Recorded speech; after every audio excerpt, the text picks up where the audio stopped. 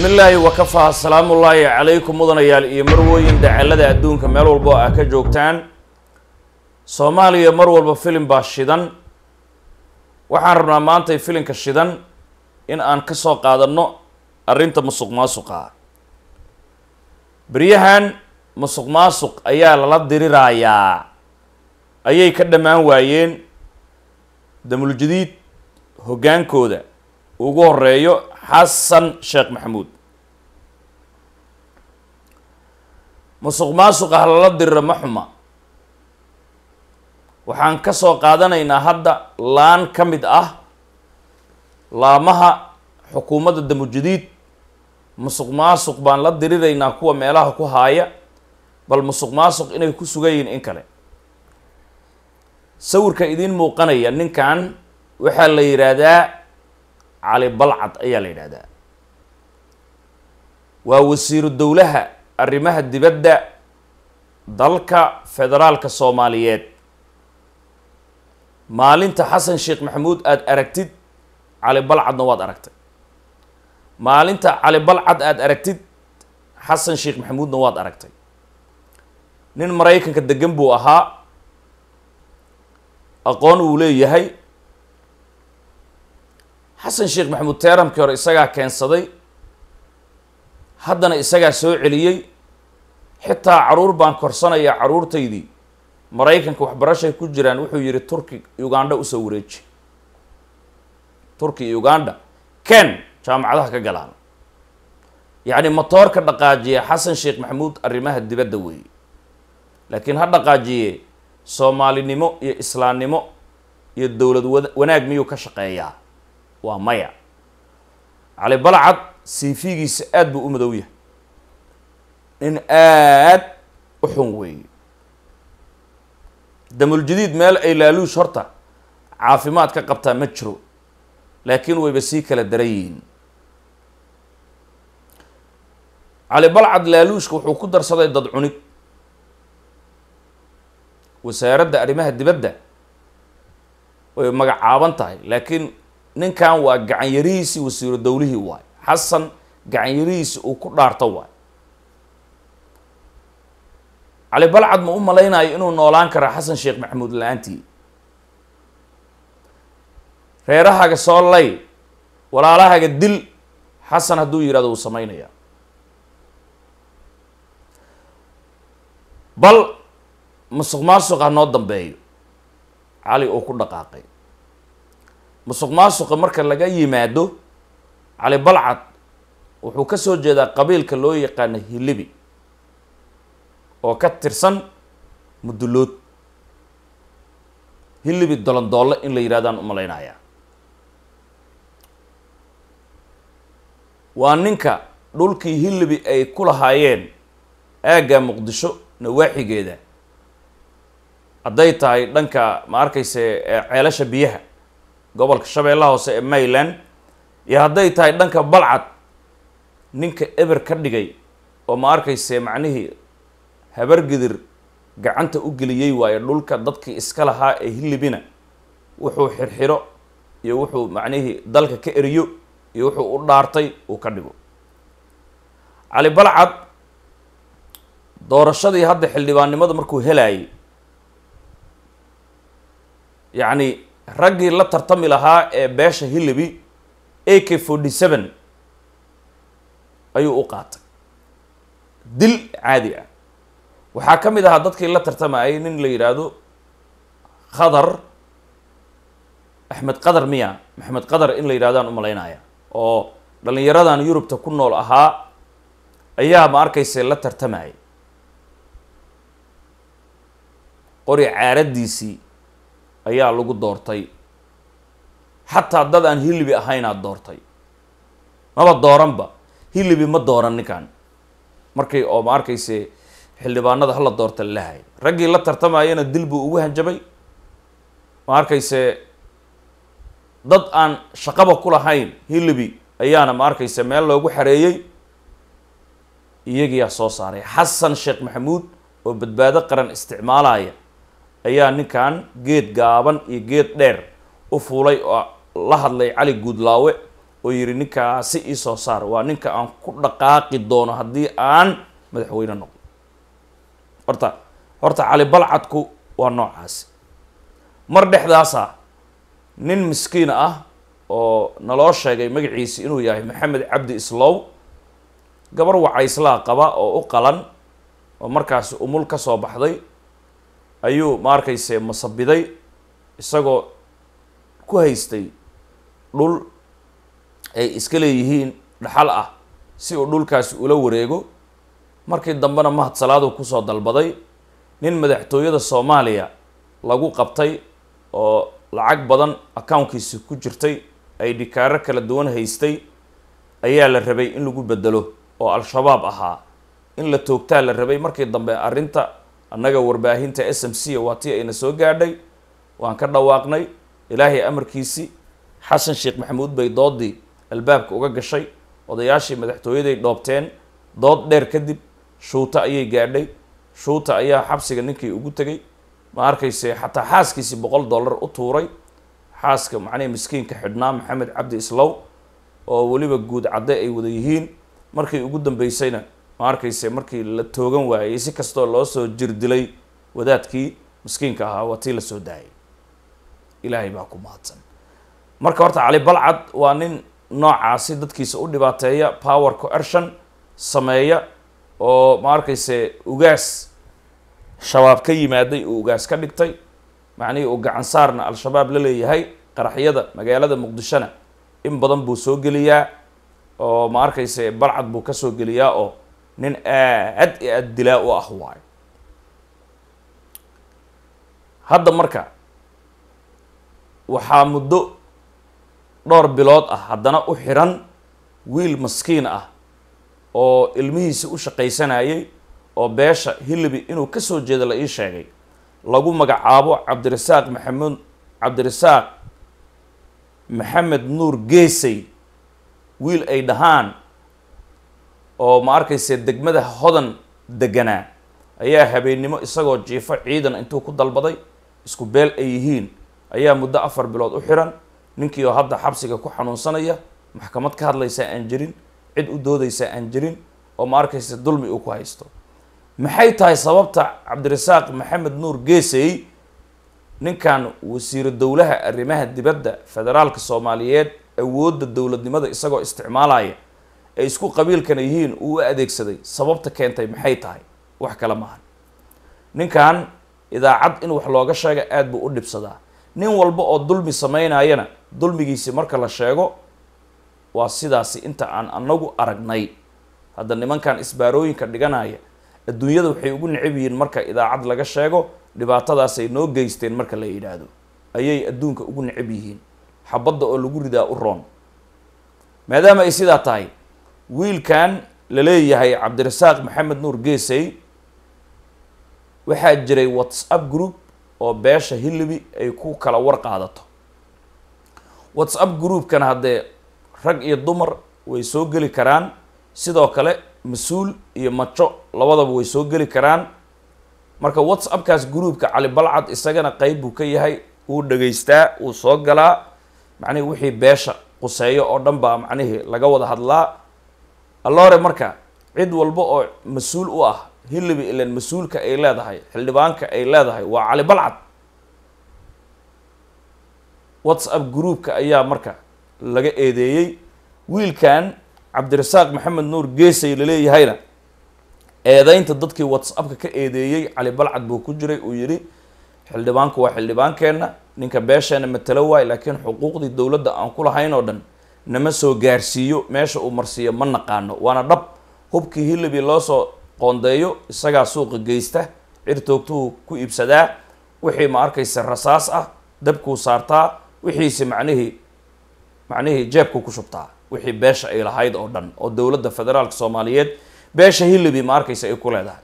Laba oday oo tuuguu samaystay oo iyaga la shaqaysta oo shabaab ku xiran saasay u wada shaqaystaan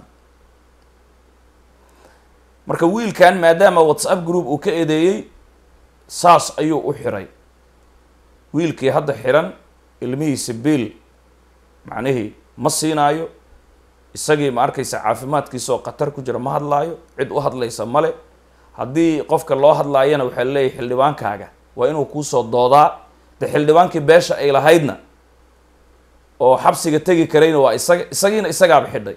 Horta cali balcad macnihii bani aadamka saas u cunaa ilaahayna wuxuu ku diray lamber kow walaalihiisi iyo beeshiisi iyo jufadiisi looba ku dirayba. Lamber kowba.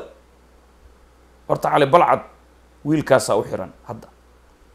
Rag fara badanna xamar ma imaan karaan oo hilibi ah. Dil inta uu joogo isagaasi oo ma arkaysa xukuumaddan damujadiid ay joogto musuq maasuqaan rabaa. Marka xasan sheekh maxamuud waa la dagaalamaa uu leeyahy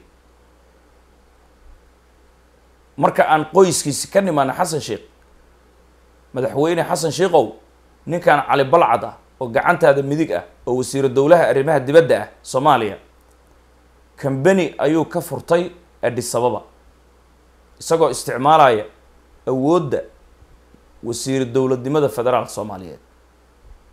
Arrimaha dibadda isagoo isticmaalaya soomaaliya madaxweyne qofka markuu xanuunsado oo hindiya oo kale dadka badanaa hindiyay aadaan ay rabaan inay isku soo qalaan ama ay isku soo daweeyaan toddoba dollar baa laga qaadi jiray.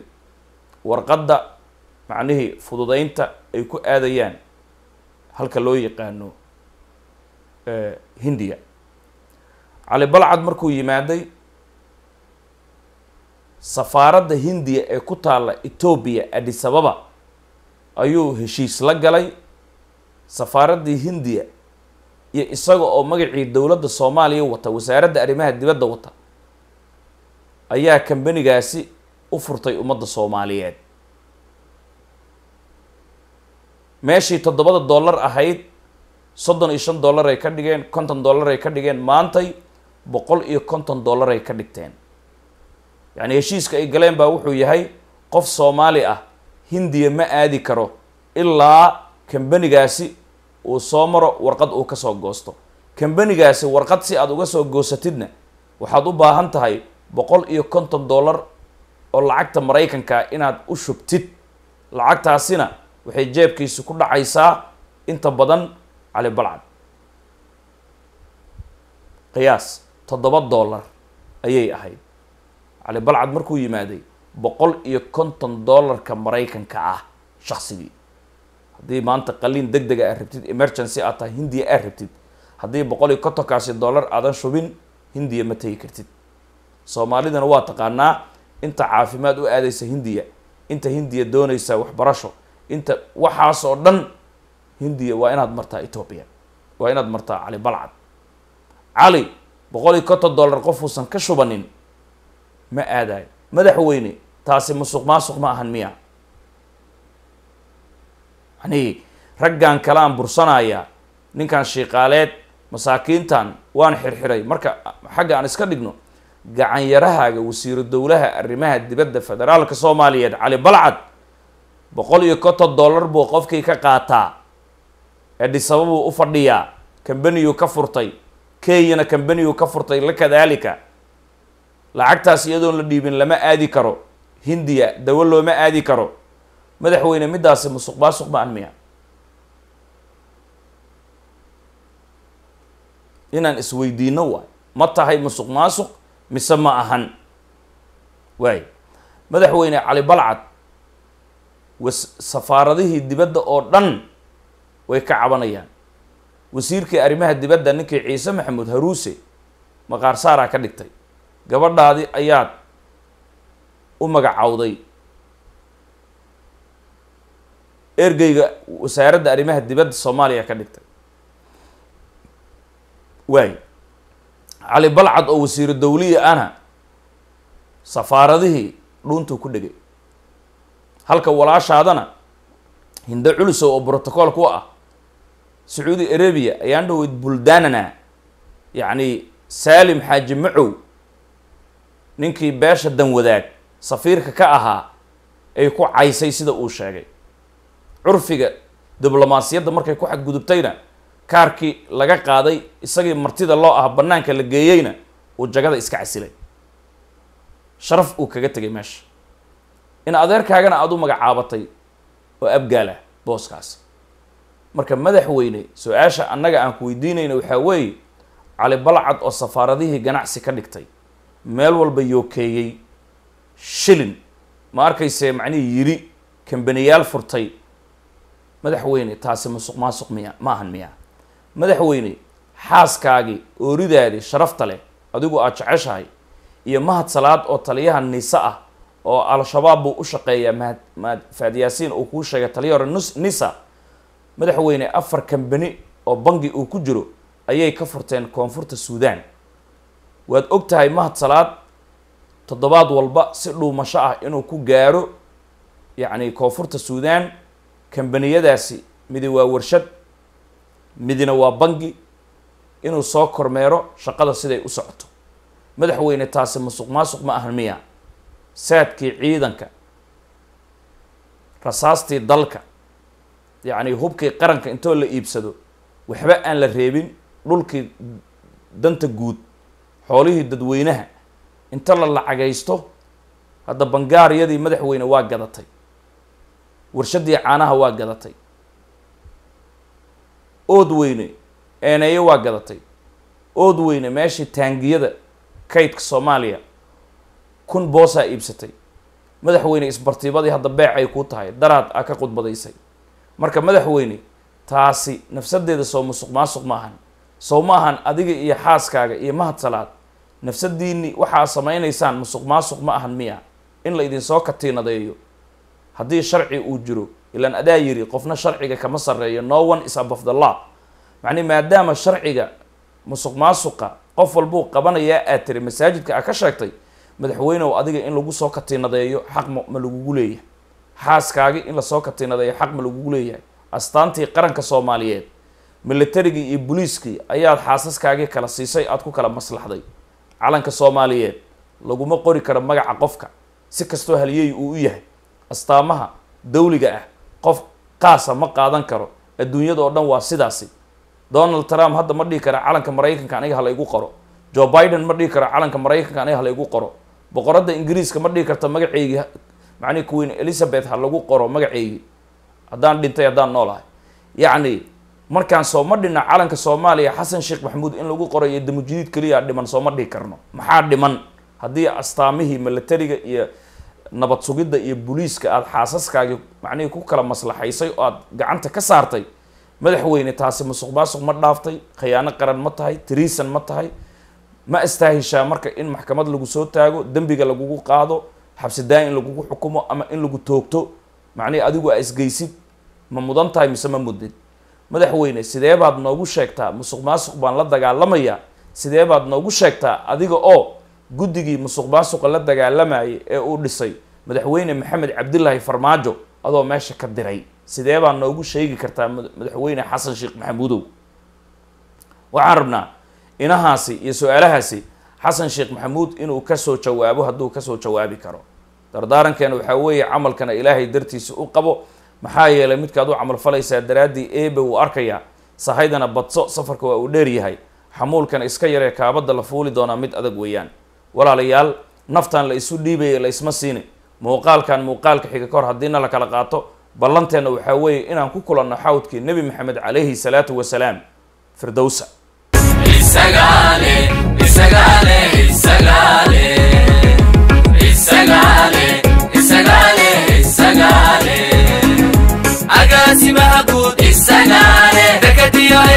isagaale arrimaha bulshadana isagaale awaamirta ciidankana isagaale aruurinta canshuuraha isagaale ambaqadka filadana isagaale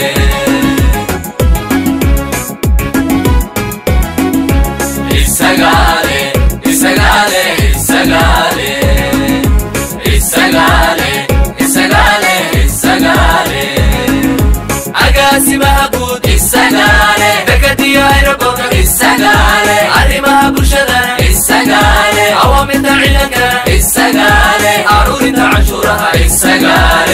Ambaqadka filadana Isagale. aan